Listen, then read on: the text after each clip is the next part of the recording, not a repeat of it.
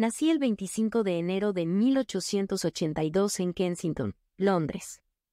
Mi nombre es Edeline Virginia Woolf, nacida con apellido Stephen, y me convertiría en una de las escritoras más influyentes e importantes del siglo XX. Desde muy joven, desarrollé un amor por la literatura y las palabras, y pronto me di cuenta de que la escritura sería mi verdadera vocación. Mi infancia estuvo marcada por la presencia de mi padre, Sir Leslie Stephen, un destacado escritor y editor. Su biblioteca se convirtió en mi refugio y en el lugar donde descubrí a los grandes autores de la literatura inglesa. A pesar de ello, mi vida no fue fácil. Perdí a mi madre cuando tenía solo 13 años, y esa tragedia dejó una profunda huella en mi ser.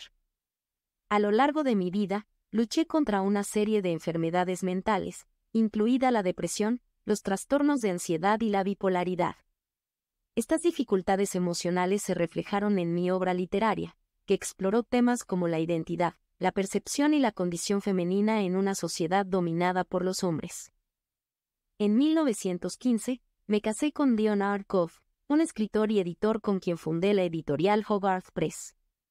Esta empresa se convirtió en una plataforma para publicar tanto mis propias obras como las de otros escritores vanguardistas de la época.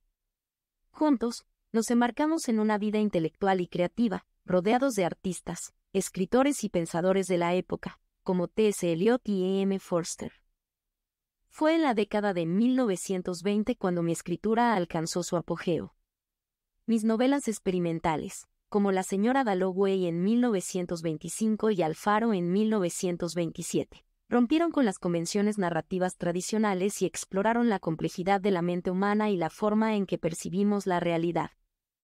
En 1928, publiqué mi ensayo más famoso, Una habitación propia, en el que reflexionaba sobre la necesidad de que las mujeres tuvieran independencia económica y un espacio propio para poder desarrollar su creatividad. Este ensayo se convirtió en un referente del feminismo. Mi vida y obra estuvieron marcadas por una profunda sensibilidad y una búsqueda constante de la belleza y la verdad.